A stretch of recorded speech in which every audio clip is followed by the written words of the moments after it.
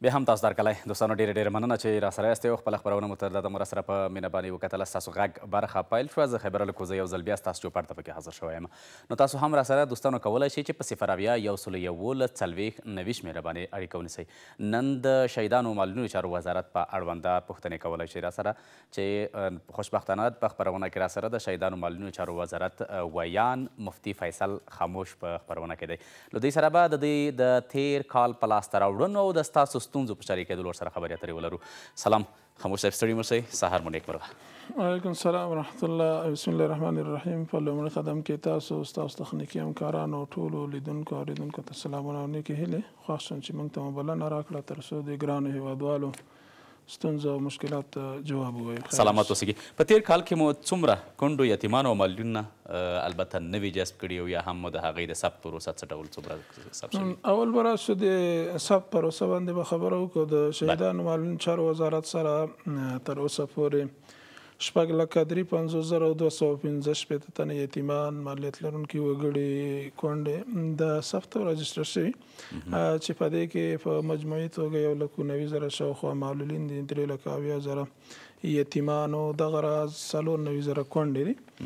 او بله دا چې په دې مجموعي ارقامو کې یعنې شپږ لکه درې پنځوس زره کې یو لک دوه ویشت زره د تېرې ادارې د عسکرو یتیمان او دغه راز د د تېرې ادارې نظامي معلولین لکه پولیس، اردو، قطعه خاص دغه راز ملکي شهیدان، ملکي معلولین،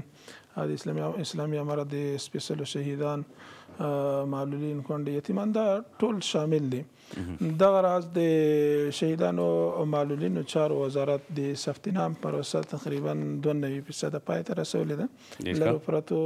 سیمو کې ځینې یتیمان، معلولین، کونډې، ثبت نه پاتې ځکه چې هغه مرکز نه لري دي او دغه راز دې زیاتره یې الکترونیکي تذکرې نه لري، کاغذي تذکرې نه لري، نو بناً ثبت نام پروسه یې جریان لري، ان شاءالله هغه به هم لنډ وخت کې ثبت شي. بله، تېر کال کې که ووایو چې تاسو چې نوملیکنه کوله د دې ترڅنګ تصفیه هم روانه ده، د تصویب برخه باندې که راته وغږیږي چې څومره کسان به د لیست ته لرې شوي وي چې هغه مستحق نه وو یا هم په یو ډول نه په یو ډول دغه میاشتنۍ یا هغه اخیستل تاسو څخه. اول خو دا چې تیر کال څوارلس او دوه اسد نه د څوارلس او دریم اسد پورې څو ورځې مخکې موږ حساب دهي پروګرام هم درلودو هلته د شهیدان مالن چارو وزارت محترم معین شیخ صاحب دا خبره وکړه چې د څوارلس او دوه اسد نه د څوارلس او دریم اسد پورې تقریبا اته ویشت زره خلک یعنی یتیمان معلولین کونډې هغه چې د موږ اصول ته برابر نه او مستحقین نه هغه موږ له لیست څخه د تصفیه د پروګرام په لړۍ کې دا موږ له لیست څخه وباسل او دا هم ویل تیر کال یعنی د 1402 مسد نه د 1403 مسد پورې 15 میلیارډ یعنی 15 زره میلیون افغانۍ دا مو په یتیمانو او معلولینو کونډو باندې د بانکي سیستم له لارې نه په شفاف ډول توزیع او تقسیم کړي. ښه البته دا تیر کال کې دومره رسیدلې ده. ډیره مننه دوستانو تاسو هم کولای شئ چې خپلې ستونزې راسره شریکې کړئ که څه هم مونږ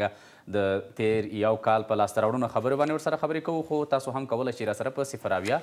یو سلو یوولس څلویښت نوي شمیره باندې اړیکه ونیسئ او خپله ستونزه راسره شریکه کړئ ګورم چې څوک له کومې سیمې سلام تاسو ستړي مه شئ.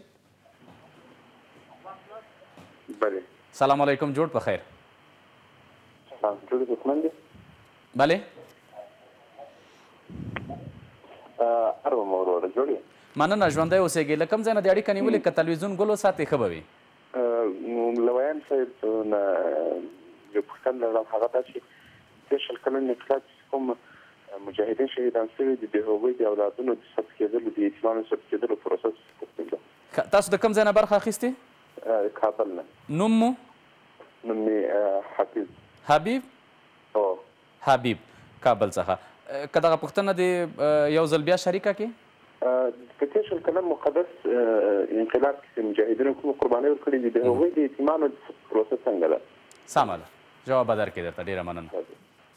سلامت اوسې. که څه هم مفتي صاحب تاسو مخکې یاده وکړله چې په دې کسانو کې شته خو دی بیا د اسلامي امارت غړو ته خبره راجع کړه مستقیمه توګه باندې. بلکل د هغه ورور پوښتنه مو واخیسته دی وایي د اسلامي امارت د سپیڅلو شهیدانو او یتیمانو د ثبت نام پروسه څنګه ده خو د اسلامي امارت د سپیڅلو شهیدانو یتیمان له فتح نه مخکې هم موږ سره ثبت او راجسټر وو او ځینې شاید پاتې لرو پرتو سیمو کې اړوند ریاست ته عریضه کیږي د عریضو کې رئیس ته هغوی دغه عریضه راخلي د ولسوالۍ مدیر ته اسپاري د ولسوالۍ مدیر اجرات کوي نو بنا دوی د عریضو کې ریاست ته ډیره مننه بیا هم ګورم چې څوک را سره دی السلام علیکم بله سلام جوړ په خیر سلامات اوسئ مهرباني کې هستین اکبر د کابل نه خبرې کوم اکبر د کابل له کومې سیمې څخه تلویزیون ګل که اکبر خان چې ځکه غږ تاسو په مستقیمه توګه تلیفون نه واورئ دا به ښه وي ها صحیح ده مهرباني مهرباني. ښه تلویزیون ګل کې یو یو مشکل لرم دغه د پروخ کال د څلور میاشتو یوازې زه نه د ټولو معیبونو د پیسې بیخي پاتې دي چې لاړو سږ کال چې لاړو مونږ پیسې راکړئ ویل ستاسو پیسې نشته زه یې ورکړ په لار کړئ دوه میاشتې راته راکړه شپږ زره روپۍ دوولس زره روپۍ یوازې زما نه د پروخ کال ټول معیبون پاتې دي دغه پیسې څنګه کېږي ښه څلور میاشتو میاشتنی تاسو نه ده اخیستې. هو هو جواد زه نه یم ټول خلک دي. ډیره مننه سلامت اوسې ځواب به درکړي درته مهرباني مفتي صاحب. تیر کال د څوارلس سوه دوه مالي کال لپاره د شهیدان مالین چارو وزارت ته چې کومه بودیجه واک کې ورکړل شوې وه د شهیدان مالین چارو وزارت مسولیت او مکلفیت او دغه راز ذمه واري دا وه چې دغه بودیجه په شفاف ډول په یتیمانو او معلولینو او کونډو باندې توزیع او تقسیم کړي. الحمدالله کومه بودیجه چې موږ ته واکې راکول شوې هغه مو په شفاف ډول توزیع او تقسیم کړه، دې کې اتیا فیصده یا پنځه اتیا فیصده خلکو د پوره کال مساعدت او مهانت ترلاسه کړه او ځینو دوه میاشتې او د چا څلور میاشتې او چا درې میاشتې دا خلک پاتې شو نو بناً د حکومت یا د دولت اصول دا دي کوم وزارت ته چې بودیجه ورکول کیږي هغه باید په روان کال کې دا توزیع او تقسیم کړي نو موږ دغه مسولیت ادا کړی بیا هم موږ پیشنهاد وکړو چې ځینې خلک پاتې هغه موږ ته باید نوره بودیجه واکې راکول شي او ډیره کم اندازه موږ ته نوره بودیجه واکې راکول شي هغه بیا توزیع او تقسیم کړه نو د قانون په چوکاټ کې دغه کم خلک چې پاتې شول هغه د دغه روان 1403 مالی کال د بودیجې نه دوی ته دغه مساعدت و معاهنه نه شي پردخت کېدای. نه شي ورکول کېدلی. یعنې دوی هغه څلور کاله، څلور میاشتې وسوځېدلې په هو یو حساب. بلکل. موږ چې دوی سره کوم کومکونه کوو، دا مساعدت په نامه یادېږي. معاش نه ده، مساعدت ده، یا معاهنه ده، یا یې کومک ده. نو بناء د دولت چې څومره وس وي، دوی سره به کېږي. ډېره مننه. سلامت اوسې. بیا هم ګورم چې څوک راسره دي. السلام علیکم. بله که زما غږ لرئ مهرباني. بله سلام علیکم. وعلیکم سلام څوک؟ خوب هستین برادر محترم چت نه؟ تشکر سلامت باشین کی هستین از کجا تماس گرفتین؟ ما از خیرخانه هم داشت رو زنگ زدیم سنده زرغونه پرگل؟ زرغونه مهربانی پرگل بله ما از مهمان محترمتان یک سوال داشتم اینا گفتن کسایی که دارای یک عضوش معلول است ماشا از اینا را به طریق انداخته تا هم رسانی به خاطر که اشخاص میتونه خودشان کاروبار بکنن بله من یک سوال از داشتم که اندرنی اشخاصی که کاملا سالم هستند جور هستند هیچ کاربار پیدا نمیشه چی برسه به اشخاص معلول اینا دیگه چی تصمیم دارن دارینده چه قسم میکنن بله تشکر سلامت باش سوالتان را گرفتیم بخیر باش مهرباني مفتي صاحب دغه خو پوښتنه مو واخیستله پوښتنه فکر کوم دا وه چې د یوې عضوي معلولین دا معطل تاسو معطل کړي دي بالکل بالکل ښه یعنې ستاسو پلان په راتلونکي کې ورته څه دی راتلونکي کې مو پلان دا ده چې اول خو دا کومه بودیجه چې موږ ته واقع راکول کیږي دغه بودیجه کفایت نه کیږي ما مخکې یادونه وکړه شپږ نیم لکه یتیمان معلولین کونډې دا موږ سره ثبت دي بله. بلې خوا بودیجه باندې چې نظر واچو دولس میلیارد یعنی دولس زره میلیونه نفس الامر کې ډېره غټه بودیجه ده په د 12 میلیارد افغانۍ باندې ډېر غټي پروژې سرته رسیږي خو بلې خوا د یتیمانو کونډو معلولینو تعداد د د سلويخ 15 سلويخ کلونو د جنگونو د د لوجه د یتیمانو ارقام به خې ډېر دي د معلولینو کونډو داس کورنۍ مونږ لرو ولته په یو کور کې د یتیمانو او د کونډو تعداد پنځه ویشت، شپږ ویشت، څلور ویشت، بلکل شته پنځلس واقعیت ده. نو خبره دا چې کومه بودیجه موږ ته فی الحال راکول کیږي دا کفایت نه کوي. انشا کله چې موږ ته ډیره بودیجه واک کې راکول شوه انشاالله دغه خلک به هم لیست کې نیسو او دوی ته به مساعداتو مهانه پرداخت کیږي. سلامت اوسېږې. راځو د خیریه بنسټونو په اړه باندې هم تاسو سره خیریه بنسټونه هم همکار دي د خیریه بنسټونو په همکارۍ مو څومره خلکو یا هنګ که بیا راتاو شو راوګرځور همدغه یتیم تاسو سره ته خبره چې دا ټوله په یتیم او کونډو معلولینو باندې راڅرخي دوی سره مو مرستې کړي دي او یا ورته رسیدلي دي. تیر کال موږ تقریبا نهه اتیا زره کورنیو سره چې هغې کې د یتیمانو، معلولینو، کونډو، عامو بیوزلو هیوادوالو کورنۍ شاملې دي، د خیریه بنسټونو او دغه راز موسساتو له لارې نه کومکونه کړي دي چې په دغه کومکونو کې نغدي رقم شامل و دغه راز د خیاطي ماشینونه د خوراکي توکو لکه اوړه غوړي او ځینې نور اړین توکي او معلولینو ته د زرنج موټر سایکلونه او دې ترڅنګ ځینو نورو معلولینو ته د کاروبار زمینه برابره شوې. سلامت اوسې بیا هم ګورو چې څوک او له کومې سیمې دي اسلام علیکم. وعلیکم السلام. ستړی مه شې. اریانا تلویزیون ده؟ بله اریانا تلویزیون او صبح زندګي خپرونه ده څوک خبرې کوئ؟ محمد ولي یم له پغمان ولسوالۍ نه مې تماس نیولی. محمد ولي تلویزیون ګل که. شيا مهرباني وکړئ. محترم سلام علیکم. وعلیکم السلام ورحمت الله. زه یم ایوب یم په دواړو سترګو باندې ژوبل یم ماته سږ کال نولس سوه افغانۍ لا راکړي دي چې هم پروسږ کال موږ ته به د میاشتې پنځه زره روپۍ راکولې سږ کال یې موږ پیسې پر څلوېښت زره پروسږ کال راکړې وې سږ کال یې تاو کړې نولس سوه روپۍ راکړې زه به په نولس سوه روپۍ څه وکړم؟ ښه سترګې دې دید کوي که یې نه کوي؟ او زه نه نفر بومي لرم ټول واړه ماشومان مې دي زه حیران پاتې یم ته څه به موږ د شپې تمامه شپه ناست ژاړو به او دا به نو څه رقم شي موږ خو حیران په دې کې پاتې چې دوه ځله وزارت ته لاړم اته سوه روپۍ خو تنها د ما په کرا لاړې پاتې شوې نهه سوه روپۍ پاتې شوې زر روپۍ ما ته به زر روپۍ به نو زه څه وکړم مفتي صاحب محترم محمد ولي وروره ښه ستاسو سره خبرې وکړي تاسو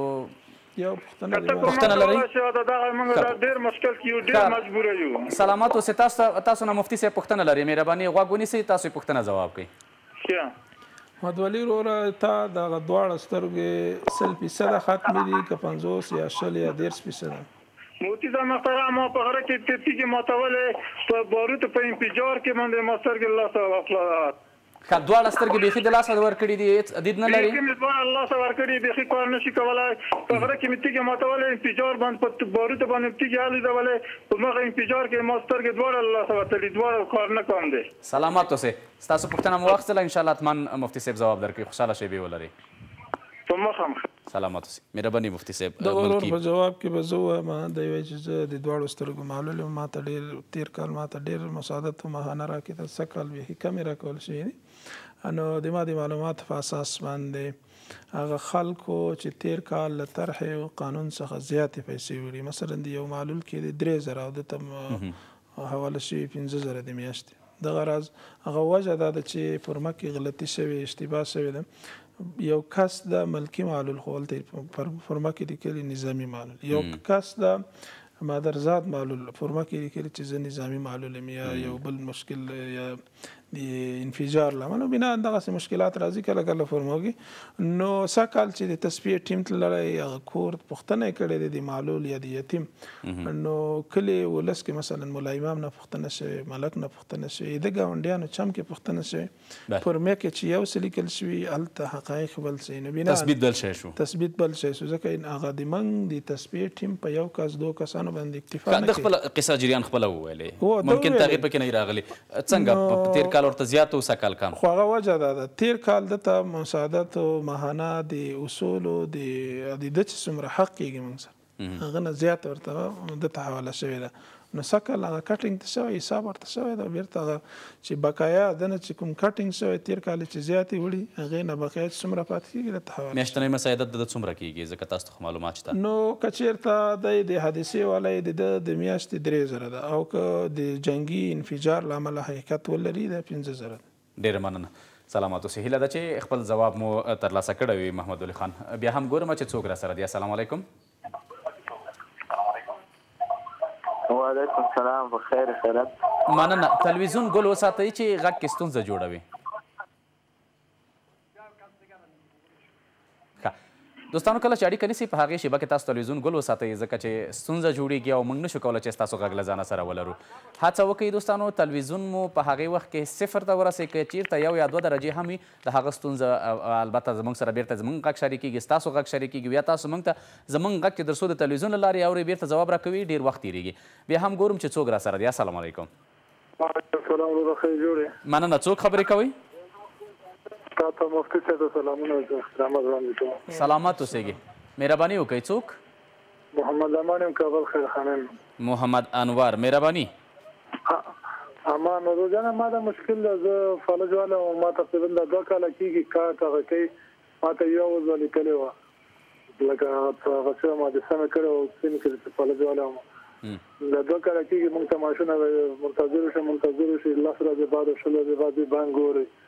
ولا نور زړه راشین کړی دې بانک کتلو بله تاسو که تاسو خپل د هغه فیصدي حتما تاسو ته ذکر شوې ده چې څو فیصده تاسو مثال معیوب شوي یاستئ یا په حادثه کوم خپل د وجود غړي له لاسه ورکړي څومره ده فیصدي ماته خو دې فیصدي کمه لکیر لیکلی چې ما سایز وګوري ما خو تقریبا زه اتیا یا اویا فیصده جوسي هغه یم دې ماته یو اوز وا لیکلي ده مزه شته چې زور کار نشم کړی زه لس لیټر اوبه هم صحیح نشم جوسي کولی دا خو پریږده پریږده. ښه تر اوسه میاشتنني نده درکول شوي؟ دا دوه کاله کیږي هیڅ ندي راکړل شوي لس ورځې بعد راشه بس وزارت ته څو پري لاړلمه بس هیڅ هغه موږ ته هیڅ هغه نه کیږي نه پوهیږمه. مفتی صاحب کومه پوښتنه لري نه ما یې سوال واخیست ډیره مننه سلامات اوسئ سلام علیکم سره شي مهرباني مفتی دغه ورور انور له کابل نه اړیکه نیولې و خپل خبرو کې خپل سوال کې دا خبره وکړه چې ماته کارت کې یو وځو لیکل شوی ده ځکه کارت کې هغه څه لیکل کیږي چې حقیقت سي بله یو معلول دا صحیح ده دی وایي چې زه پال جم خو کله چې تسپی ټیم لاړ سي یا غم اې د برسیو سي هغه د کومه کمیټه چې ناشته دا غي وګوري نو حقایق چې سي هغه درته لیکي نو بنان دی د یوې عضوې معلول ده د یوې عضوې معلول هم بیا دی جنګي معلول نه ده نظامي معلول نه ده شاید دی حادثه کې معلول شوی شاید دی مادرزادو طبعي معلولي نو بنان دغه معلولین د بودجې د کمښت له امله فی الحال معطل دی. که سلامت اوسې راځو تاسو ځینو کسانو ته د مصنوعي اندامونو او د دې تر څنګ د هغوی ته د رواني ناروغیو او یا هم فکري ناروغیو په اړه باندې ځینې برخې ایجاد کړې وې او کړې مې وې دغه برخه تر کومه بریده پورې بریالۍ شوه او یا مو څومره کسانو ته مصنوعي اندامونه برابر کړي وي هم جوړ کړو ارم کړل. دا خو د شهیدانو معلوم چارو وزارت دارالامان د افغان شاه افغان جاپان روغتون شاته یا تر څنګ موږ یو ریاست لرو د معلولینو د بیا ځواکمنتیا ریاست په نامه باندې هلته یتیمانو معلولینو ته د مصنوعي اعضا او جوړښت کیږي که مثلا یو معلول خپې ته ضرورت ولري هلته ورته جوړیږي نو بنا ان د یوازې دا نه چې یو هلته مصنوعي اعضا جوړیږي د معلولینو فیزیوترافي ده دغه راز د غوږونو د پوزې د ستونې د مرضونو علاج کیږي د سترګو علاج کیږي مثلا د صحي بخش کې هلته خدمات وړاندې کیږي نو په تقریبا تیر کال موږ درې نیم زره کسانو ته هلته د یتیمانو معلولینو او کونډو صحي بخش خدماتونه وړاندې کړي چې په هغه کې یو تعداد ځینو معلولینو ته مصنوعي خپې جوړې شوې ډیره مننه بیا هم ګورو چې څوک را سره دی السلام علیکم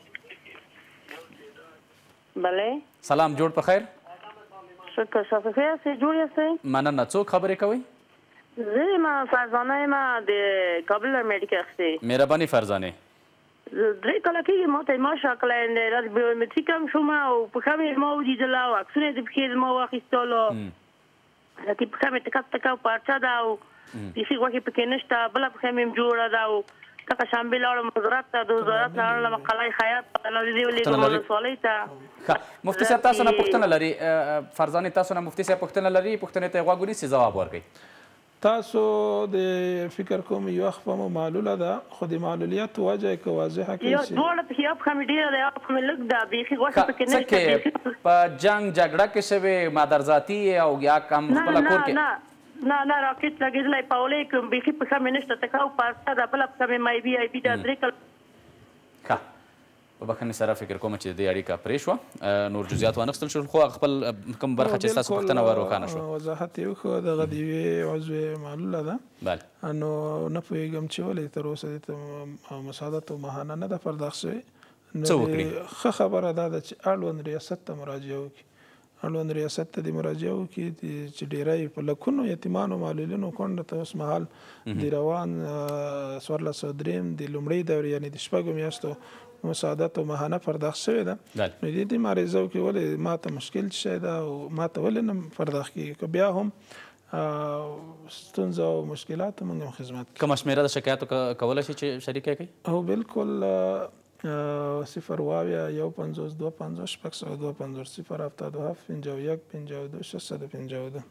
ډېره ډېره مننه مفتي صاحب چې راغلې او زموږ بلنه دې ومنله او د دوستانو پوښتنو ته دې او زموږ پوښتنو ته یې ځوابونه راکړل. خیر اوسې مننه. سلامات اوسې. دوستانو له تاسو هم نړۍ مننه چې راسره وئ او تر دمه مو راسره خپرونه په مینه باندې وکتله. لنډه دمه لرو، دمې وروسته بېرته راګرځو، پاتې خپرونه راسره مه هېروئ.